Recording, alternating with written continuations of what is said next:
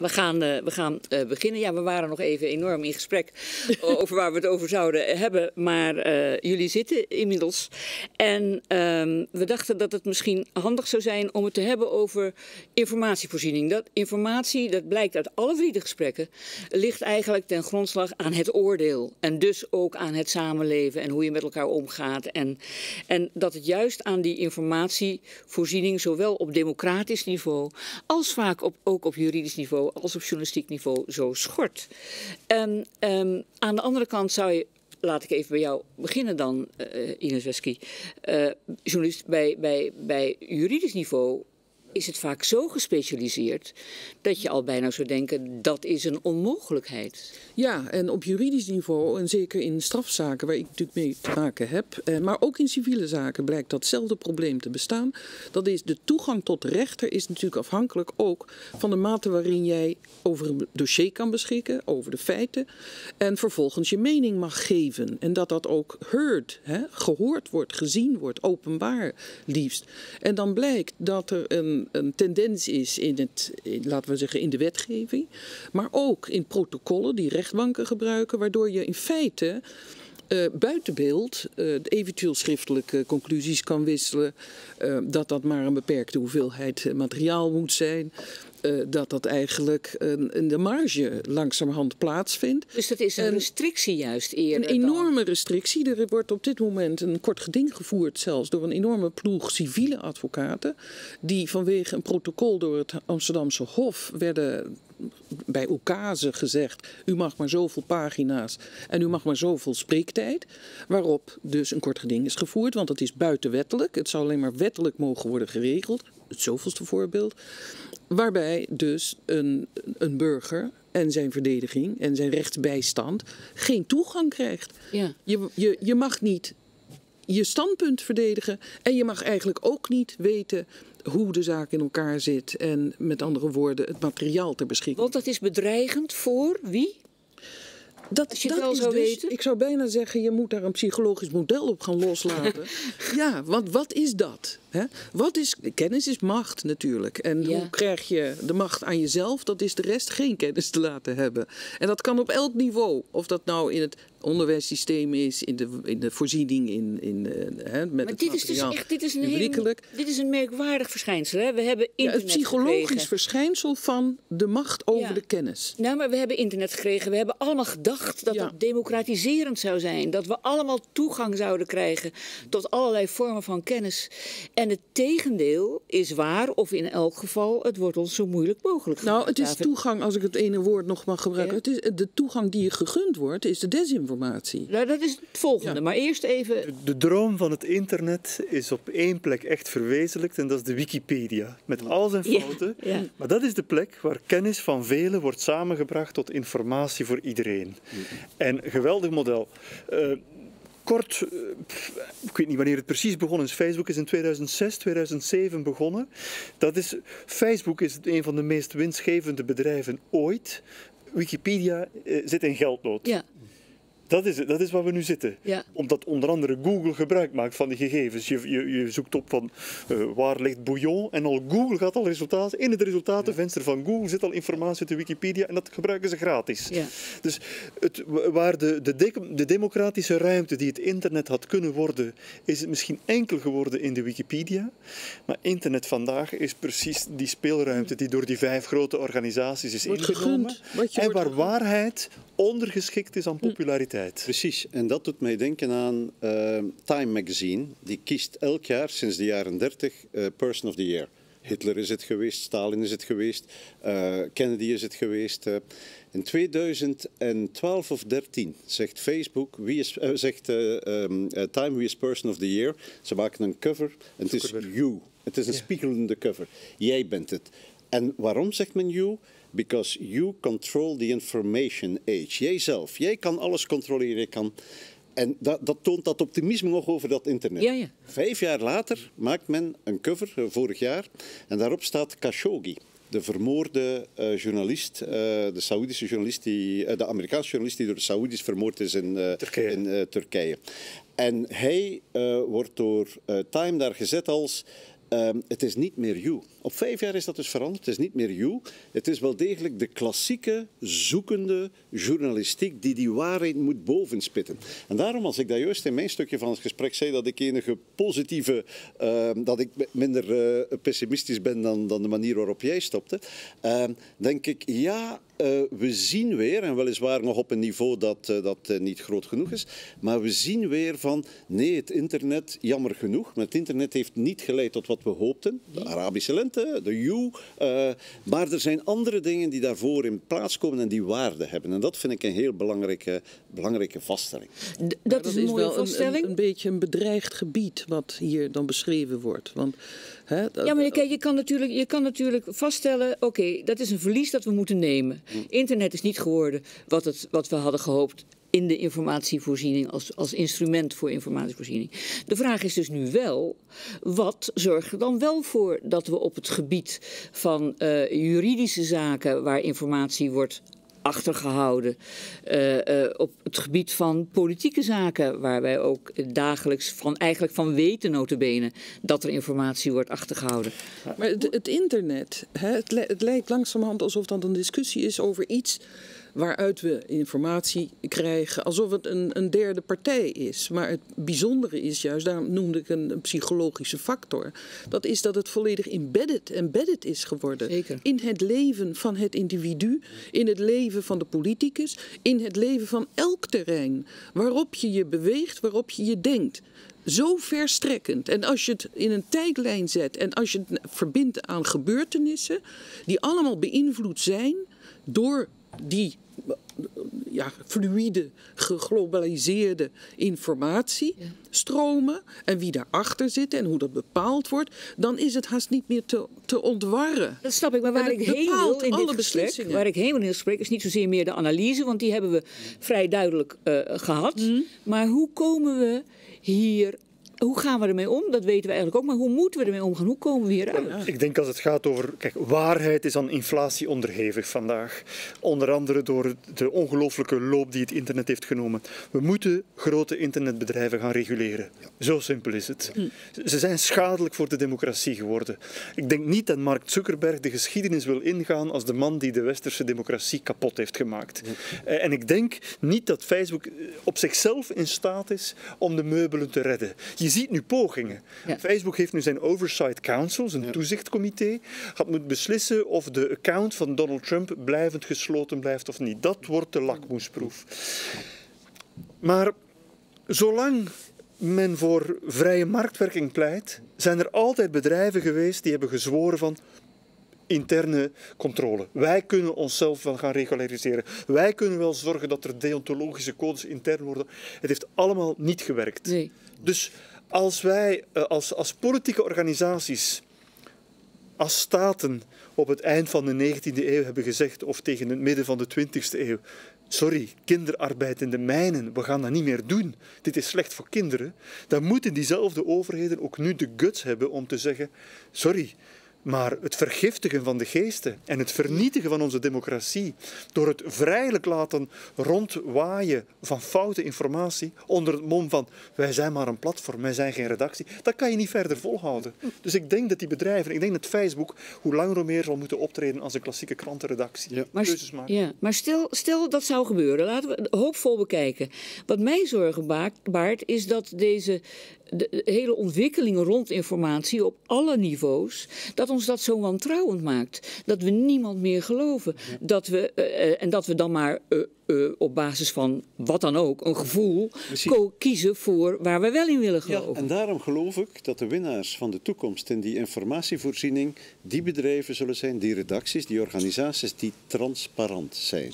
Die zichzelf uh, blootgeven. Die zeggen, kijk, die, als ik dat juist zei, uh, die soms zeggen, ik weet het niet. Of die zeggen, um, uh, dit, dat hebben we besloten op basis van die drie of vier elementen. Dus ik geloof zeer erg in reglementering, wat David beschrijft. En binnen die gereglementeerde wereld, welk bedrijf of welke, welke organisatie zal ik geloven? welke waarheid zal ik geloven? Die waarheid die gebracht wordt door organisaties die uh, vreselijk tot op het bot transparant zijn. En dat, en dat, altijd onze media, ook anno 2021 veel te gesloten zijn, veel te, en dat we ons veel meer moeten openstellen uh, om jou dan te, te, te kunnen laten uh, vertrouwen hebben in wat ik als mediaorganisatie okay. doe of niet doe. Ik vind het wel leuk, we zijn nu van informatie naar transparantie zijn we uh, langzaam gelopen. Wat vinden jullie ja, nou, ik van het woord transparantie? Ik, nou, transparantie en het bepalen van de vrijheid van de ander, hè, zo groot mogelijk en zoveel mogelijk informatie. En dat, ja, ik denk dan altijd, wie bepaalt het? Hè? De, de, de beroemde zin, uh, macht corrumpeert, absolute macht corrumpeert altijd. Uh, en absoluut, absoluut dus.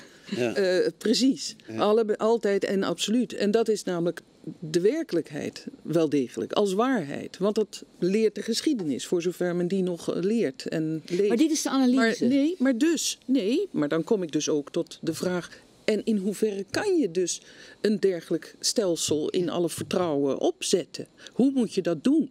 Ja. Dus hoe, net zoals nu. Nu hadden wij de gedachte, ooit Montesquieu, al die denkers en de, na de oorlog. En het moest allemaal beter. En we gaan de macht. En de machten moeten gescheiden. En dat moet ook onafhankelijk vooral zijn. En datzelfde geldt nog steeds natuurlijk als ik, had, ja, ik zou zeggen, een criterium om iets dergelijks op te zetten. Om te maken dat Facebook enzovoort, dat al dat soort machtspartners, al dat soort belangen, vooral achterliggende belangen, transparant zijn. Wiens mond spreekt mm -hmm. hier? Mm -hmm. En, uh, en dat is ongelooflijk moeilijk. Europa is nu doende met betrekking tot inderdaad die giganten. Ja. Hè, uh, kunnen we daar van invloed op zijn? Men, men vergaat soms in de macht van Hè, mijn hond heeft nog een hond, maar elke machthebber heeft ook een ja, bovenbaas. Ja. Hè, de Verenigde Staten heeft bijvoorbeeld de beroemde discussie tussen Europa en de Verenigde Staten. Alles wat hier passeert, uh, dat moet geleverd worden als in, in, informatie aan de Verenigde Staten. En waar maar goed, verdwijnt dat? Wat ik dus zeg is, kan het ooit wel gebeuren. Precies. Misschien je kan een bepaalde grens wel natuurlijk opschuiven, oh. uiteraard. Als men loslaat, als men allerlei dingen loslaat. Okay, kan dit gebeuren? David, ja, de, de zeggen, architect. We pleiten nu voor reguleren en transparantie. Je zou het kunnen vergelijken met een restaurant. Reguleren is ervoor zorgen dat de voedingswaren deugdelijk zijn, dat ze niet beschimmeld zijn of wat dan ook. Ja. Prima, dat is het minimum. Transparantie, dat is ervoor zorgen keuken. dat de keuken een glazen wand krijgt. Dat je, kan, je kan zien wat er gebeurt in de keuken. Dat je de kok kan bezig zien. Ik kan niet meer je moet echt soms niet weten wat er in de keuken gebeurt. Nou, je wil het wel weten. Maar, maar de, maar dat zijn de uitspraken overigens van Donner destijds, hè, over de wop. Ja, ik weet. Maar even, je, je wil niet weten hoe het worstje gemaakt wordt. Dus de ja. burger hoefde niet te weten wat maar er dat nou is. Nog maar een tussenstap. Dat is nog maar een tussenstap. Het plaatsen van dat glazen raam is, oké, okay, dat gaat nog toegang geven, maar daar blijf je eigenlijk hanteren dat er een club is die beslist ja. en dat jij daar maar zit in die, in die mensa en je moet, uh, je moet vreten wat er je wordt voorgeschoteld. Dat wantrouwen en de, de, de populariteit van allerlei knettergekke uh, samenzweringstheorieën, dat komt er ook maar omdat er in die mensa, in die eetzaal, zitten er vol mensen die zich niet gehoord weten. En, en dat is de basis. En een keer terug, ik wil niet te veel op dezelfde hamernagel van wat ik daarnet al heb gezegd, maar je gaat alle frustratie niet wegnemen met het reglementeren van de voedingswaren en met het plaatsen van een glazen raam tussen keuken en, en rifter. Je zal ook moeten zorgen dat die hongerige burger niet enkel op zijn honger wordt gelaten. En dus, dat er een vorm van medezeggenschap mogelijk is. Maar geloof je altijd dat je vanaf onderaf, en het is misschien heel soft om dat te zeggen, maar om van onderaf, vanaf de jeugd, vanaf het vroege begin van het leven, uh, invloed in die zin hebben dat, dat die, die persoon onafhankelijk gaat denken. Maar onafhankelijk denken, tuurlijk. Dat Want dat is, dat, dat is, is namelijk ook wegbezuinigd hè, voor een groot gedeelte. Ja. Ik weet, ja, onafhankelijk denken is best bezuinigd, maar en dan, dan klink ik als mijn grootvader en terzelfde tijd kennis verwerven, ja, kennis ja. hebben over dingen. Ja. Ik ben een beetje bang van te veel te pleiten over we gaan de mensen uh, onafhankelijk laten nee, maar denken. ik bedoel niet onafhankelijk in de zin van ik wil nu een stoeltje door de... Ja, precies. De, de, de, oh, nee, ik heb over onafhankelijk, inclusief rollen spelen, inclusief vooral kennis, kennis, kennis. Weten wat er allemaal is. Ja. Maar wat, wat is het gevaar dan volgens jou? Het gevaar is, is dat we meningmakelaars zijn en te weinig, uh, ja. en nog eens, de waarheid bestaat niet, maar te weinig feitenkennis hebben. Ik vond het een heel mooi voorbeeld wat David beschrijft over, uh, het was de eerste keer dat ik jou daarover uh, bezig hoorde, over de opiniepeiling en, en mensen samenbrengen in Parijs en ze inzicht laten geven of het rekening rijden. Dus het is echt het, het, het verwerven van kennis over, over iets wat meer dan die 140 tekens moet zijn. Dus eh, ergens in, die, in dat amalgaam van reglementeren, transparantie, moeten we inbrengen hoe slagen we erin. En ons, ons onderwijs. En laten we blij zijn met het systeem dat we, dat we hier in Nederland uh, of in de westerse wereld in het algemeen hebben. Hoe slagen we erin ook om kennis over hoe media functioneren, hoe onze democratie functioneert. Hoe, hoe slagen we daarin om dat te laten eh, groeien ten opzichte van die hele grote giganten? die we je hebt dus kennis aan de ene kant, dat is één ding. Dat, dat, dat begint al bij de jeugd. Je hebt ook die transparantie. Ik ben daar zelf een beetje, ik, krijg, ik, ik voel dat ik een beetje spot een trekje om mijn mond krijg bij transparantie. En dat komt onder andere door de uh, ervaringen van de afgelopen kabinet, niet de afgelopen kabinetsformatie, hij is nog bezig, ja. waar uh, op het moment dat het een beetje transparant werd, overigens per ongeluk, laten we wel wezen, dat er helemaal niets meer van terecht kwam. En dat er zelfs werd gezegd door iemand als Cenk Willing, die ik hoog acht, sommige dingen moeten echt in het geheim met elkaar worden kunnen besproken. Maar dat is ook wel zo. Dat is ook zo. Dat, dat is ook zo, ja, precies. de roep om transparantie is een symptoom van een samenleving die rond wantrouwen draait. En het is. Uh, het probleem is niet het gebrek aan transparantie, het probleem is het gebrek aan vertrouwen. Ja. We, we, zijn allemaal onderdanen van een samenleving. Je hebt het gevoel dat er ergens in achterafkamertjes beslist wordt in allerlei gremia over onze toekomst en we eisen transparantie om te zien wat daar gebeurt. Maar het ware probleem, ik geloof echt dat er een aantal gesprekken in discretie moeten kunnen gevoerd worden. Ik denk dat mm. diplomatie bijvoorbeeld uh, gebaat is met een vorm van discretie. Dat is niet per se slecht. Of een rechter die uh, in raadkamer Je zou vergelijk kunnen maken. Wat, is, wat, is, wat is een, als je het zou hebben in, de, in, een, in een partnerrelatie, Transparantie zou zijn dat je op elk moment van de dag weet waar die partner zich bevindt en wat zij, hij of zij aan het doen is. En met wie? En met wie? Mm. en waarom? Dat is, dat, is een, dat is een oplossing voor een relatie die gebaseerd is op wantrouwen tussen de geliefden. Een relatie die gebaseerd op vertrouwen is, zegt van, ik geloof wel dat je deze middag weg bent. En uh, ik geloof wel wat je vertelt. Snap je? En daar moet, dat moet aan gewerkt worden. En ik zie wel bij die processen waar burgerpanels uh, doorgaan, wat dat doet met, met, met burgers en wat dat ook doet met bestuurders. Er is enorm veel wantrouwen van de burger jegens de bestuurder, maar er is nog meer wantrouwen van de bestuurders jegens de burger. de burger is onredelijk, is idioot, weet niet hoe het moet. Ja. Het moment ligt de boel op. Ligt de boel op. En het moment dat je die mensen samenzet, en in een aantal uh, geloten panels werden geloten burgers samengezet, bijvoorbeeld in Ierland, met, uh, met uh, verkozen politici, als het ging over het homohuwelijk in, in Ierland, waren het 66 burgers, 33 politici. Eerste voormiddag zeer onwennig, mensen wantrouwen vertrouwden elkaar, vertrouwden elkaar letterlijk, ik ga niet zeggen voor geen meter, voor geen millimeter. Maar na verloop van tijd zie je dat dat onderscheid vervaagt en dat er begrip komt voor mekaars werk en dat er ook waardering komt. Dus wat jij eigenlijk zegt is die panels waar we het over hadden, die zijn eigenlijk voor een heleboel uh, uh, kwalen een soort van remedie, althans het begin van een remedie. Het is voor het wantrouwen in de maatschappij, het is voor de, uh, democratisch gehalte, ook voor, voor het eigenaar zijn van bepaalde problemen al, en dus ook voor de oplossingsbereidheid en gerichtheid. Hoe, wat, wat, hoe, hoe kijken jullie daar tegenaan? Nou, ik denk in ieder geval dat, dat dit stadium bereikt vooral zou kunnen worden als men vanaf een voortraject van het worden van iemand die daaraan deel kan nemen, die daar ook uh, durft te spreken en wil geïnformeerd worden, dat je dat inderdaad eigenlijk toch mee moet krijgen en groeien. Ja, dat, begrijp ik, maar dat, kan, dat ja, duurt dus nog nee, twee generaties. Dat, dat, is deel van het, van het, van het traject, dat kan niet anders. Want maar, nu... maar, op dit moment, zien jullie het, want, want dat begrijp ik, dat dat, dat uiteraard moment, uh, met de opvoeding meegegeven moet worden en dat dat misschien ook wel op den duur gebeurt als we dit allemaal internaliseren. Dan is, dan, maar nu, we, we moeten nu, we moeten nu iets. Zien jullie het als een oplossing? Ja, ik, ik, zie, ik zie dat zeker als een oplossing. Ik zie het zeker als een deel van een ja. uh, oplossing, al is het maar omdat de crisis zo fundamenteel is. Hè. Laten we ons niet onderschatten. We zitten in 2021 hier te praten. We hebben toch wel een, een, behoorlijk fundamentele crisis van het vertrouwen in de overheid, in de democratie, in de pers, in de media.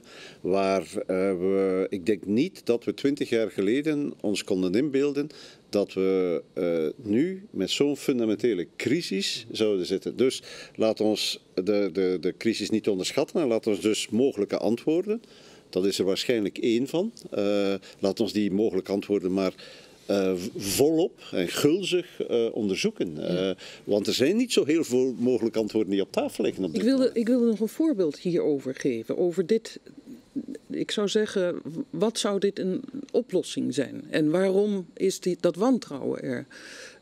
en het mechanisme van politici als, hè, als ja, naar de mond praten van de kiezer. En, en, de wens om weer gekozen te worden.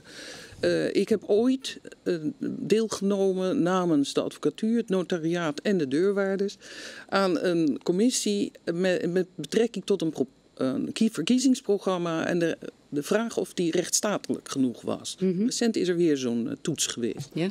En ik kan mij nog goed herinneren dat we al die programma's bekeken. En uiteindelijk was de conclusie: er werden oplossingen bedacht die geen oplossing waren. En zeker niet voor een probleem dat eventueel niet bestond. Vervolgens hadden we aan de, aan en, en volkomen in strijd op groot delen met de rechtsstatelijkheid en grondrechten, noem maar op. Maar wel allemaal voorgesteld programma's. En, uh, of oplossingen die al lang bestonden enzovoort. Vervolgens was er nog een, en dan komt het, de ontknoping. Uh, het rapport werd gepresenteerd, er waren een aantal fractievoorzitters aanwezig. Uh, vervolgens werd er ook gevraagd, maar waarom gaat men dit voorstellen? Dit is in strijd met dit en dat, dat staat al in de wet. Het antwoord was, nou, dat, uh, daar hoopte men toch uh, de, de, uh, de kiezers ja. mee te pleasen. Ja. Dus niks, niks algemeen belang, oplossing, nee. niks. Nou ja, dat is natuurlijk denk ik het, het, het, misschien wel de kern van het probleem. Al die dingen die je bedenkt en die zouden kunnen werken om het allemaal beter te laten maken, die moeten uiteindelijk ingevoerd worden door de mensen die daarmee hun eigen macht aantasten en, en, en op wie we kritiek hebben juist. Ja. Nee, je zou kunnen zeggen dat politieke leiders vandaag een klein beetje tandpijn hebben. En ze kunnen kiezen naar de tandarts gaan of niet. Vanuit de gedachte van ja, naar de tandarts gaan, dat is onaangenaam. Het is, uh, je ligt met je mond open. Uh, allemaal. allemaal uh, je kan ook de, de lichte tandpijn negeren. En denk je van, ach, we doen nog even verder. Het, het absces komt niet. Maar het komt. Het komt sowieso. Mm -hmm. Het is nu al aan het groeien. Dus politieke leiders vandaag hebben er alle belang bij om die vernieuwing van de democratie te behartigen, al was het maar zelfs in hun eigen belang. Mm. Uh, en, en... Ja. Ik wil eigenlijk eindigen. En zeker waar het, dit... het, klimaat betreft. Zeker wat het klimaat betreft. Zeker. We weten van Urgenda, het kort geding, mm. om de staat te dagvaarden of ze alsjeblieft zich aan het klimaatakkoord houden. Ja. ja.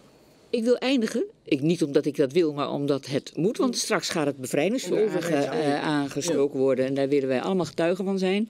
Dus ik wil een kort rondje maken hoe jullie zelf denken. Uh, in, gewoon in je, in, je, in je persoonlijk of professioneel leven hier een bijdrage aan te kunnen leven, leveren. Dat is best ingewikkeld, want we hebben het nu steeds over de anderen die iets moeten doen. Wat kunnen we zelf doen?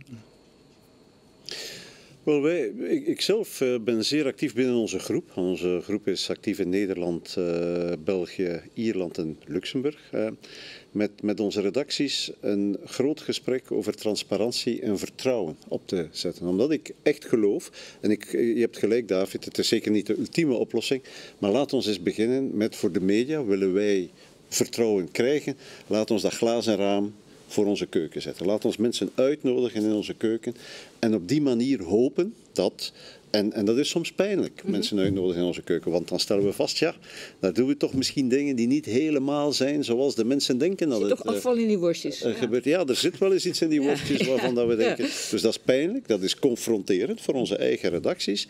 En toch denk ik dat het één element is die kan bijdragen tot betere journalistiek. En journalistiek die vertrouwd wordt. En daardoor tot een betere democratie. Net zo bondig, Ines. Je kan alleen maar doorgaan. Alleen maar doorgaan. Alleen doorgaan, doorgaan, ja. Op de deur blijven kloppen. Want dat is wat jij doet in ja, jouw vak. Ja, ja, ja, ja. En dat is uh, niet makkelijk. Nee. Tot slot. Ik heb een prachtig boek gelezen van de Vlaamse filosoof Annelien de Dijn. Die, die is docent in Utrecht.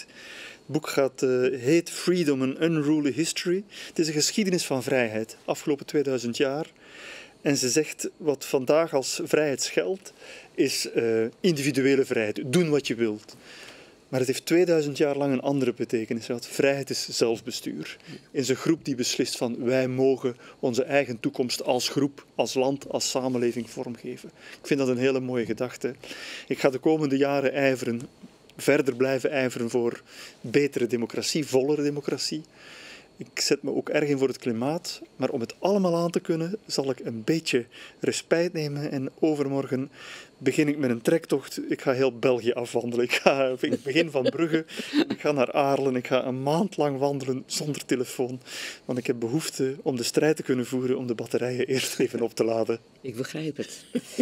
Ik dank jullie hartelijk voor de manier waarop jullie inhoud willen hebben gegeven aan deze bijzondere Van Randwijk lezing, omdat die zonder publiek moest plaatsvinden in een andere omgeving dan normaal. Uh, het heeft in elk geval mij, maar ik hoop ook de mensen die dit hebben gezien, stof gegeven tot nadenken. Uh, en ik wil uh, de kijkers bedanken voor het kijken en hopelijk ook voor het nadenken over alles wat er gewisseld is en gezegd. En dan gaan wij nu met z'n allen ons opmaken voor het ontsteken van het bevrijdingsvuur. Een mooie bevrijdingsdag.